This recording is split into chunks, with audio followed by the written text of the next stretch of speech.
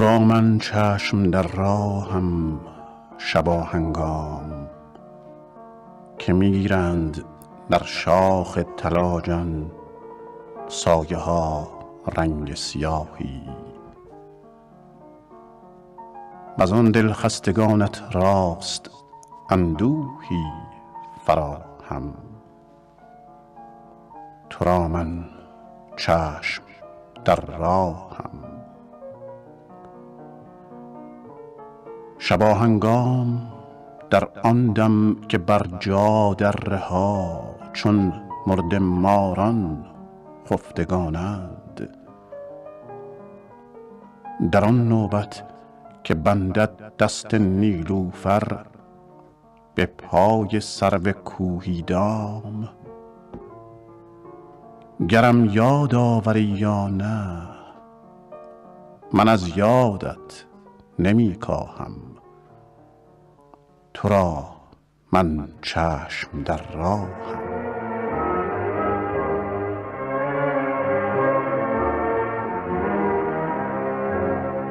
در انتهای شب.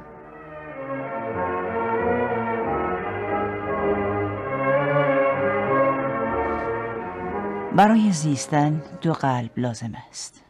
قلبی که دوست بدارد قلبی که دوستش بدارند قلبی که هدیه کند قلبی که بپذیرد قلبی که بگوید قلبی که جواب بگوید. و برای در انتهای شبی دیگر تنها درودی و سلامی به تمامی شما شیفتگان هنر معاصر لازم است تا ما آغازگر برنامه دیگر باشیم. دوستان درود و سلام بر شما. نیما می‌گوید من به رودخانه شبیه هستم که از هر کجای آن لازم باشد بدون سر و صدا می‌توان آب برداشت. و ما در این برنامه می‌خواهیم نگرشی داشته باشیم بر نظریه ادبی نیما در مورد سمبل. بشنوید.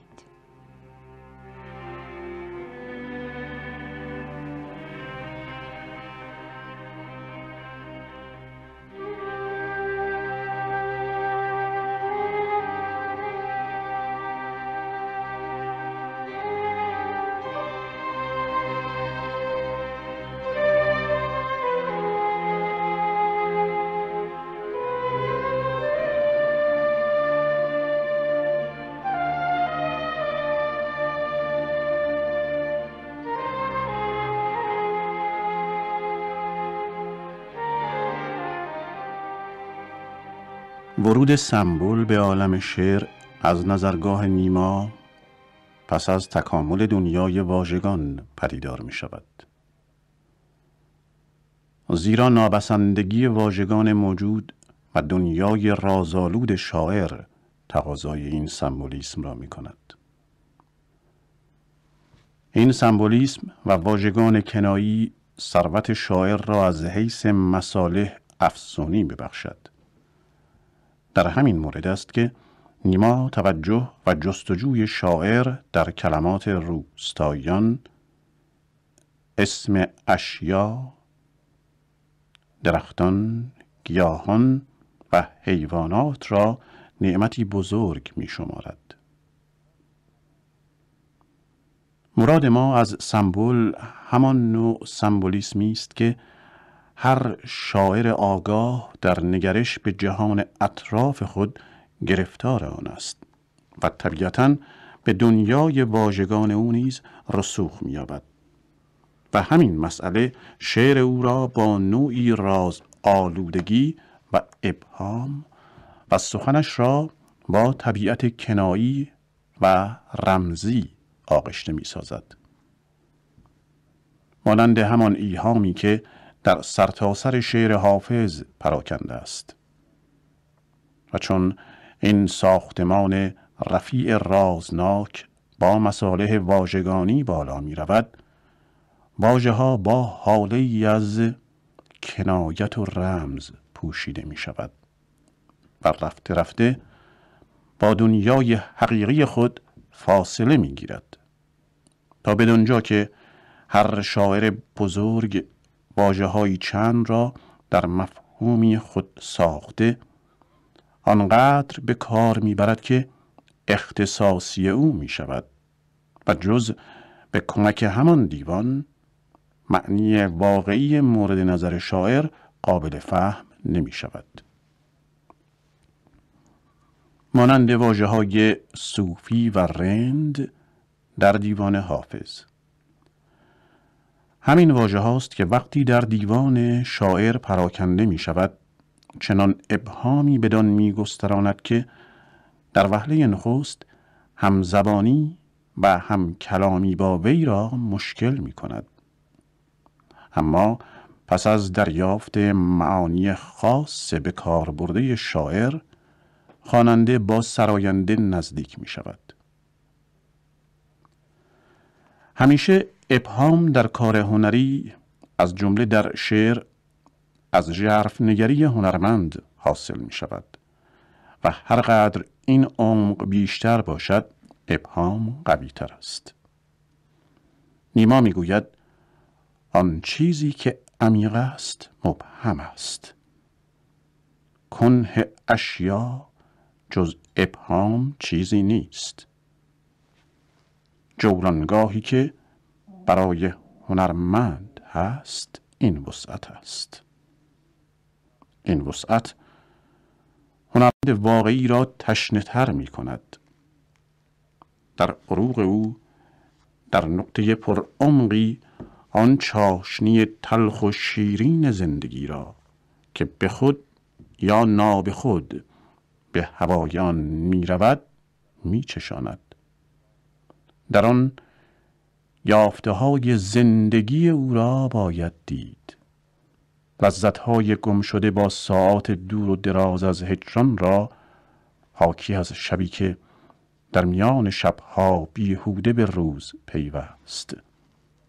روزی که او در روشنی زننده آن انتظار شب را می‌کشید. جان هنر با زندگی. است شما بارها به آثاری برخورده اید که همین ابهام آنها را زیباتر ساخته و به آنها قوه نفوذ عمیق داده است.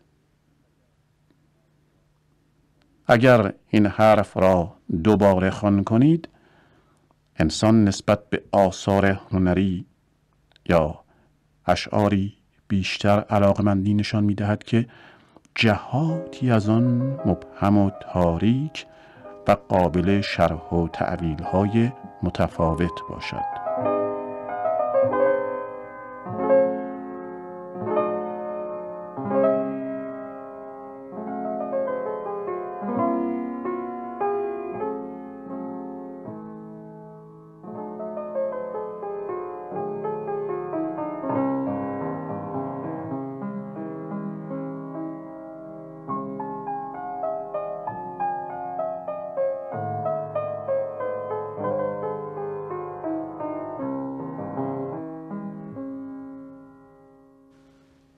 نیما باز می‌گوید کارهای با عمق اساسا ابهام انگیز هستند.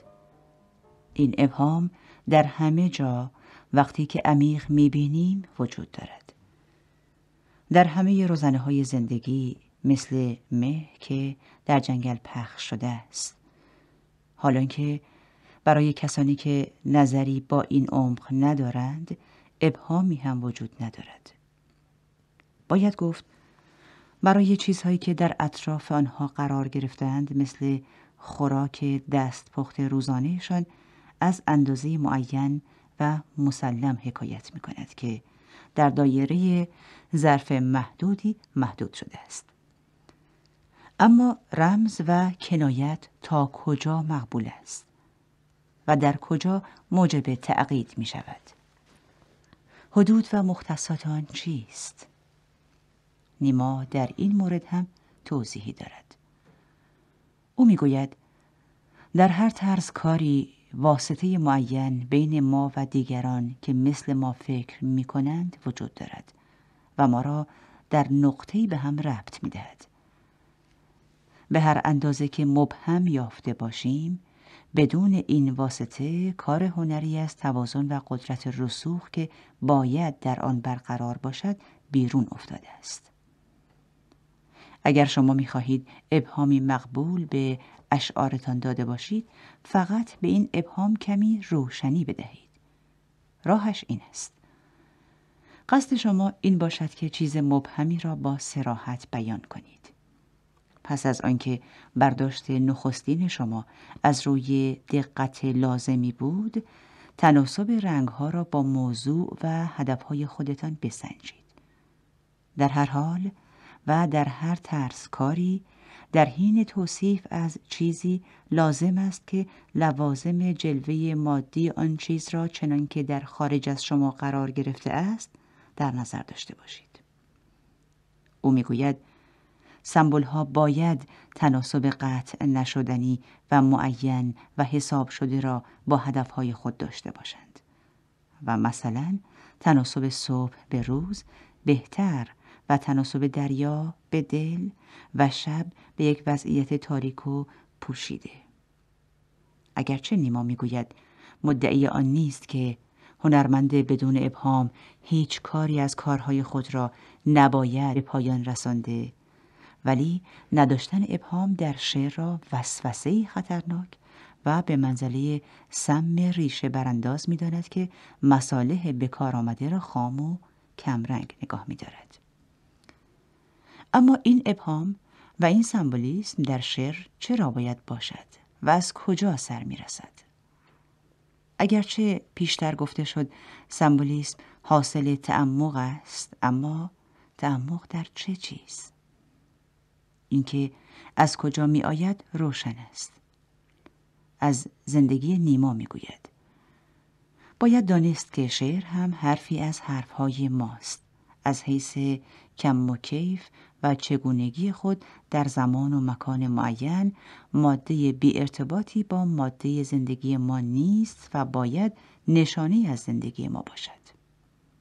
از این جهت از حیث موضوع می تواند یک دقت ابهامانگیز جلوه کند اما این زندگی را از ابعاد گوناگون آن تا چه حدودی شناخته ایم آیا زندگی در نگرشی عمیق برای انسان متفکر و کسی که نظام حیات را در خور و خواب و شهوت نمی جوید چیزی گنگ و مبهم و آمیخته با انواع رازها نیست؟ به همین حیات خود نگاه کنید و ببینید تا چه حدودی از آن بسیریم چیزی که دو سران تولد و مرگ در بیکرانگی ناآگاهی و وحشت سر به مهر شده است. حالا که برای ساده هیچ مشکلی و سوالی در این باب وجود ندارد. فورستر در جنبه های رمان آنجا که از شخصیت در قصه صحبت می کند سخن جالبی دارد که می تواند در همین مورد برای ما کمک مهمی باشد. او می گوید من و شما انسانیم. آیا بهتر نیست نگاهی بر حقایق عمده موجود در زندگی داشته باشیم؟ منظورم زندگی اداری نیست بلکه در مجموع در مقام یک انسان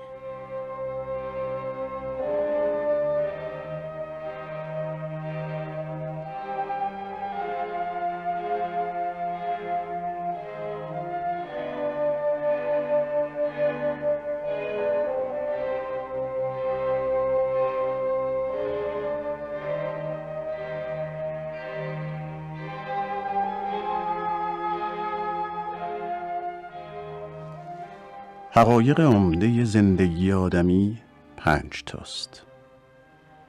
تولد خرد و خواب عشق و مرگ.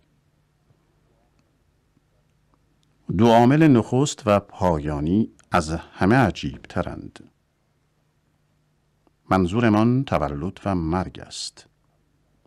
اینها از این لحاظ عجیبند که در عین حال که تجربه اند تجربه هم نیستند و ما جز از طریق گزارش چیزی درباره آنها نمی‌دانیم.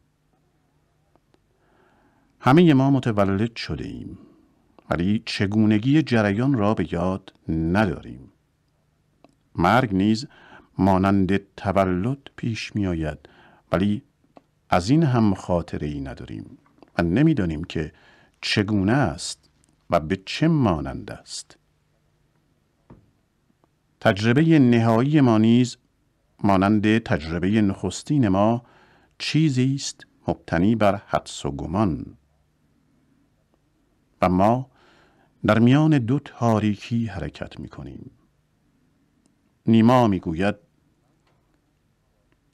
بعضی اشخاص قیافه ای می گیرند و می خواهند به ما بگویند که تولد و مرگ چگونه چیزهایی هستند مثلا مادر پزشک و مردم مذهبی هر یک نظریات خاصی در این خصوص اظهار می کنند. اما این اظهار نظرهایی است که از خارج می شود و دو موجودی که می توانند جریان را روشن کنند یعنی نوزاد و جسد قادر به این کار نیستند.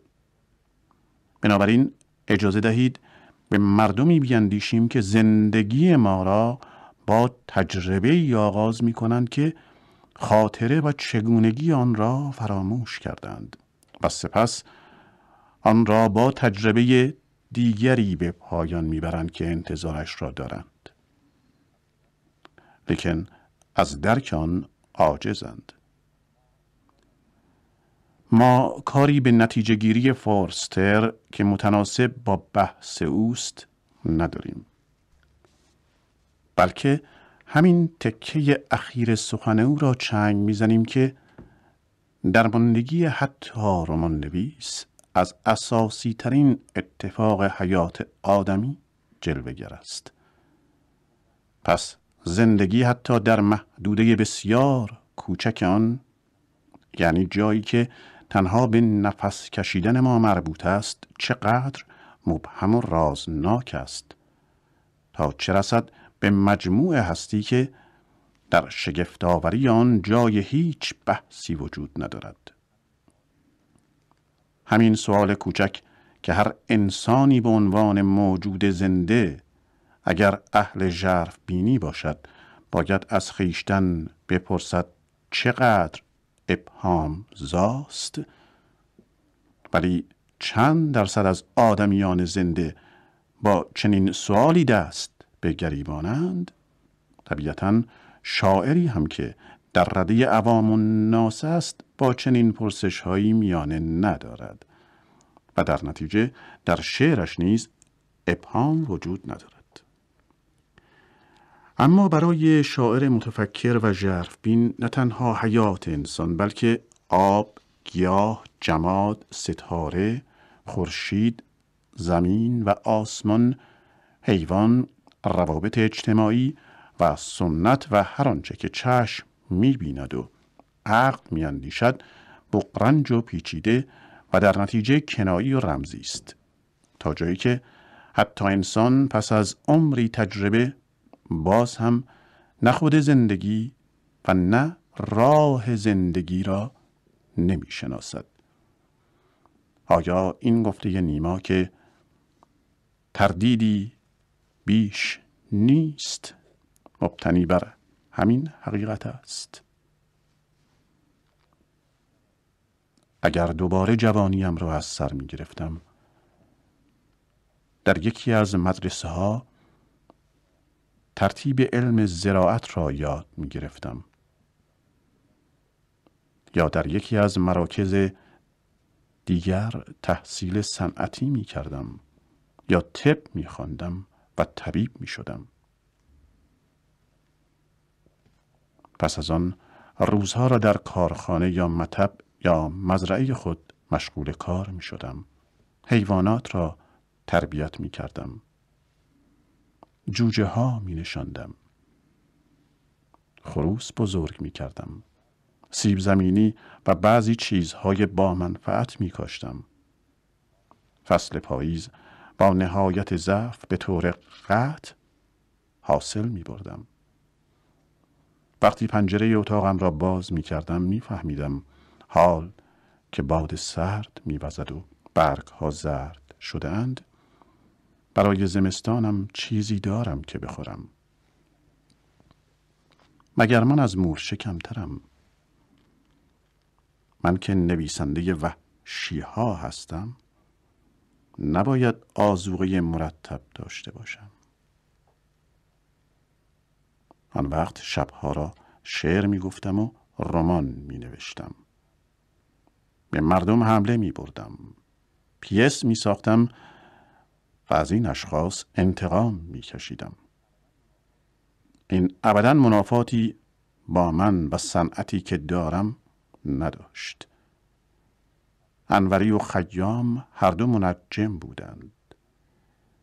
موسه و بوعلی طب می دانستند منتها موسه مردد بود.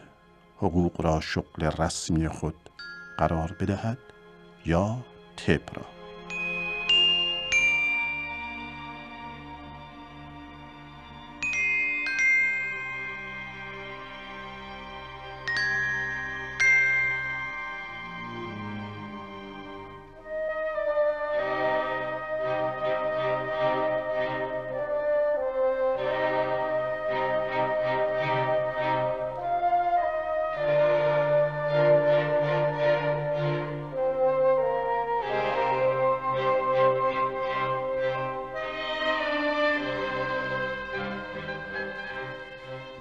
پس ابهام محصول زندگی است به شرطی که در آن تعمق وجود داشته باشد و این ابهام چیزی نیست که ما به عمد به زندگی می بخشیم بلکه خود زندگی رازناک است و هر کسی به تناسب معلومات، احساسات و درک خیش بهری از آن را کشف می کند و هرچه جلوتر می رود بر حیرتش بیشتر افزوده می شود.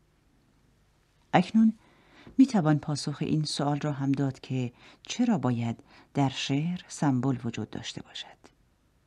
چون شعر جزئی از زندگی است.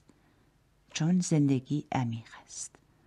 پس اگر همگان توانایی فهم شاعران عمیق را ندارند از آنجا ناشی می شود که زندگی را خوب نمی شناسند و عمیق نیستند. اگر در شعر شاعری بزرگ ابهام وجود داشته باشد نباید انتظار داشت همه آن را بفهمند. نیما می‌گوید این ابهام از جلوی چشم مردی برداشته می شود که همه وجودش شعر است. در بین شعرای ما حافظ و مولانا عشق شاعرانه دارند. همان عشق و نظر خاصی که همپای آن است و شاعر را به عرفان میرساند. همچنین نظامی.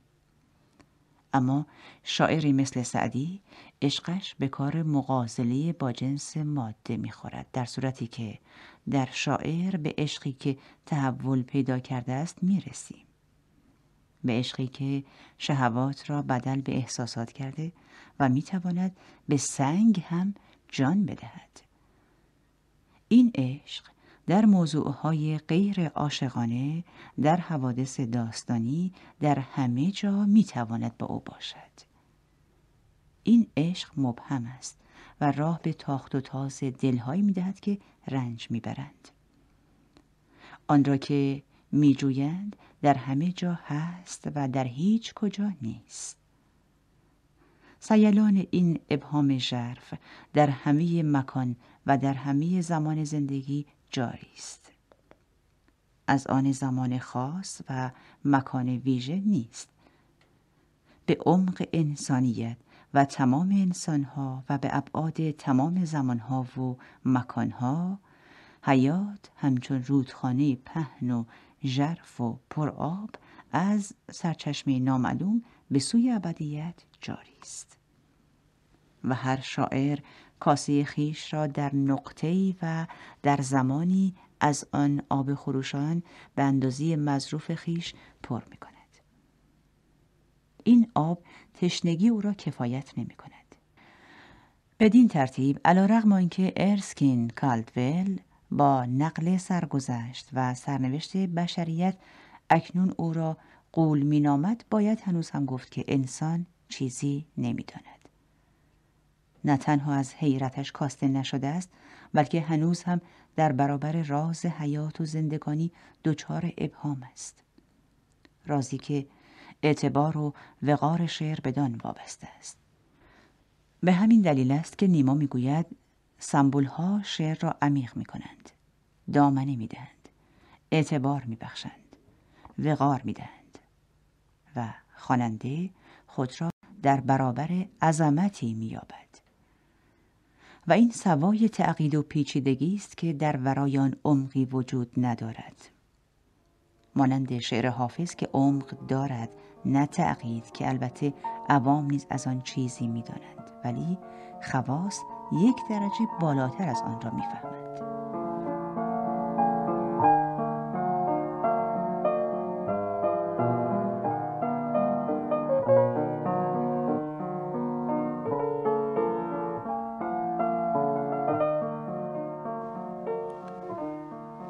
هنگام که گریه می دهد ساز. این دود سرشت ابر بر پشت. هنگام که نیل چشم دریا از خشم به روی می‌زند مشت.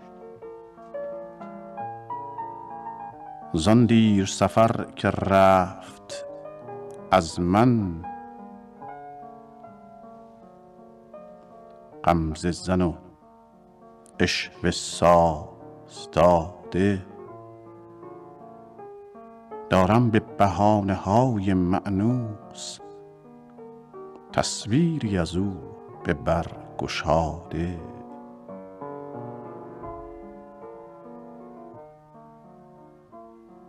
لیکن چه گریستن چه طوفان خاموش شبیست هرچه تنهاست. مردی در راه می‌زند نی باباش فسرده برمیآید تنهای دگر منم که چشمم طوفان سرشک می گشاید هنگام که گریه می دهد ساز این دود سرشت ابر بر پشت. هنگام که نیل چشم دریا از خشم به روی می‌زند مشت